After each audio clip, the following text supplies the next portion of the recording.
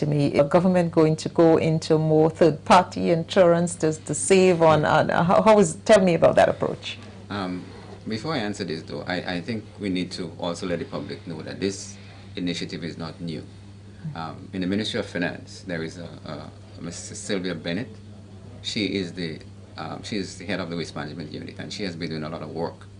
Um, you know, uphill task for her. Mm-hmm. So what we're doing is basically um, assisting. Like I said, it's not anything. She did quite a bit of work with regard to the rentals, the water, etc. So we are more, if you want to call us the foot soldiers, the guys that's ponging the doors and, and, and ensuring that and the, negotiating. system is yes, working. Yes, right? yes. Mm-hmm. Um, I, I, also want to just quickly um, speak to the, the rental.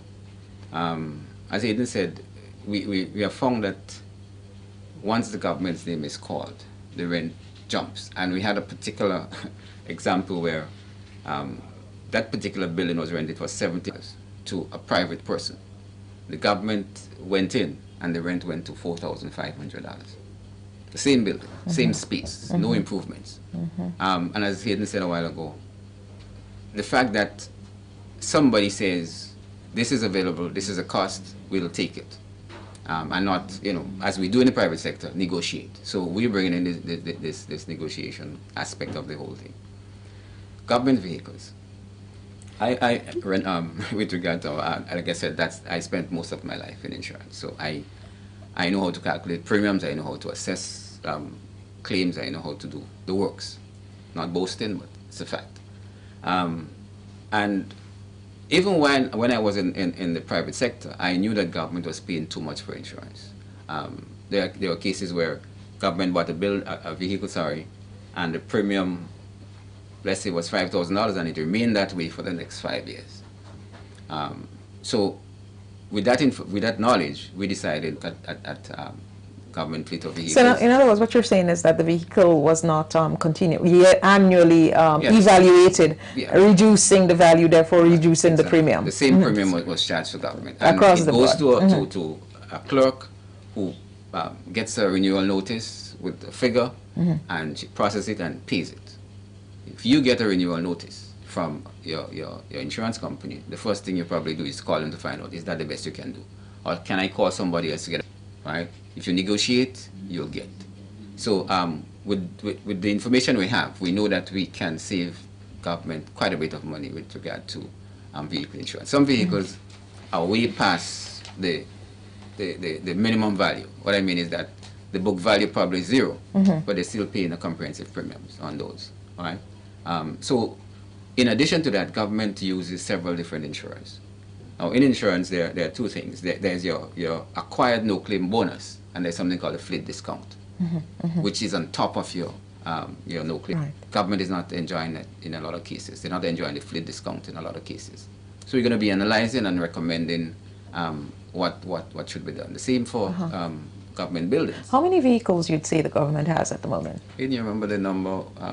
Um, we, we are putting together the numbers right now. G give, me a, give me a, a ballpark. It, um, it, it's, it's difficult to give. Yeah. It's difficult to give at this stage. When we're through the exercise, yes. we would know exactly how many vehicles. Right, I knew exactly. I'm saying in just a rough estimate. Because we have not seen the numbers coming back from many? the ministries, because government have vehicles uh, in different ministries. Um, you you think well over hundreds?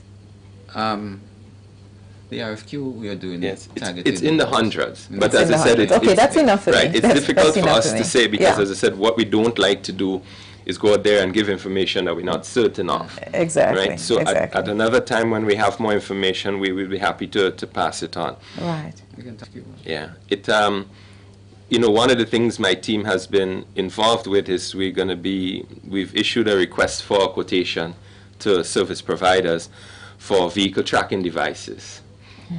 These devices were piloted in the Ministry of Finance and proved to be a very good monitoring tool. So in short order, we anticipate that all government vehicles will be loaded up with a monitoring device that would track the usage of the vehicle, mm -hmm. would track the speed, would be able to set up zones by which the vehicle should not exit or enter to allow proper management of the fleet because I, am sure we are all privy to the embarrassing situations in the past where You see government vehicles with learners L's on them. You see government vehicles on the beach on the weekend. You see government vehicles in parties on the weekends and in FET and stuff.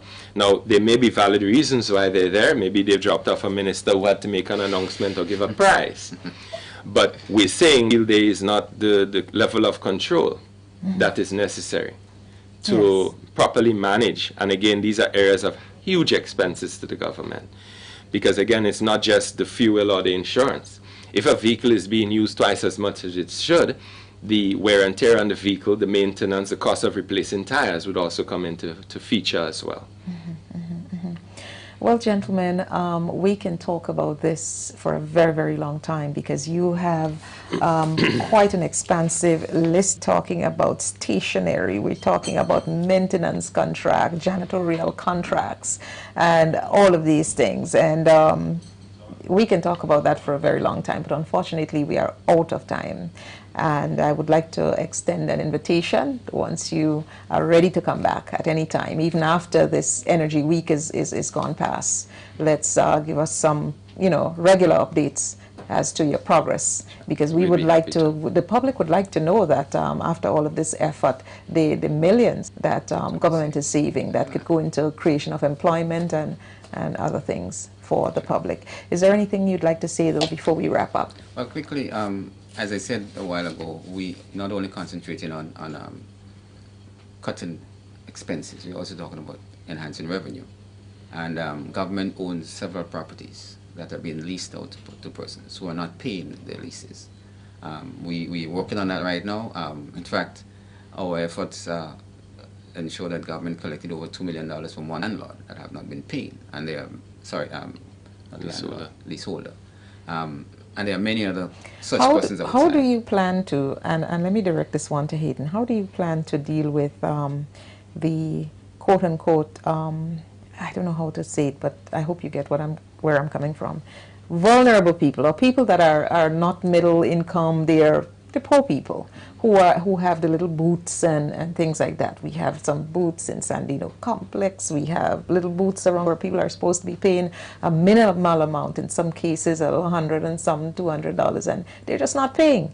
And then you go to them, and uh, I, this is not a new national party government problem. It's a government problem. You go to them and you try to get it from them. They create all kind of trouble, but yet they had a nice hairdo and they party and they do everything. And the day you say give them notice to move, yep. they ain't voting you again. How do you balance, you know, um, collecting revenue on behalf of governments and having a fallout or, or, or this bitterness with, with persons hmm. are just wanting to take advantage and don't care? Well, one key word here is enforcement. Mm-hmm. Most of these persons you refer to, as well as leaseholders, taxpayers, everybody is governed by either a law or a contract. And sad to say that the law provides measures to be enacted if someone does not comply with the law. Just as if you're speeding or you've done something wrong or you steal from someone, the law provides measures. What has not happened in the past is that the, the measures have not been enforced. Just like you would have referred to the gentleman throwing the bottle out the window, there's laws for littering, there's laws for seat belts, there's laws for stealing, there's laws, petty larceny laws. There's laws that govern the country and operations. But unfortunately, it has not been enforced or monitored. Mm-hmm. Our job would be to inform on better ways to manage this, better ways to enforce, to monitor, and to collect the government's revenue. Because the government cannot run without collecting the revenues that they should to pay for the services that the nation requires. Thank you very much, Mr. Redhead. Thank you very much, Mr. Phillip. It's nice having, having you here. Folks, you are on Spice Morning. I was just speaking there with Mr. Hayden Redhead and Mr. David Phillip. And of course, they were here representing government, and it's all about an initiative to reduce wastage in the government service and also to enhance revenue collection. Um, I hope you enjoyed that discussion, and as you've heard me say, I would really like to continue uh, interacting with those gentlemen as they continue to update us and let us progress is being made where that is concerned. Well, it was a pleasure speaking with you. Well, sharing with you this morning. I, I totally enjoyed it. I hope you got a lot from the interviews. I, I hope you did. I did. And um, God's willing, I will be right back tomorrow on Spice Morning. A special thanks to the theme, right, the team that is right here, our producer Chaplin, and of course uh, um, uh, all of the guys, all of the guys, Miss Marie, everybody. Thank you all so much, and we'll be right back on Spice Morning tomorrow, God's willing.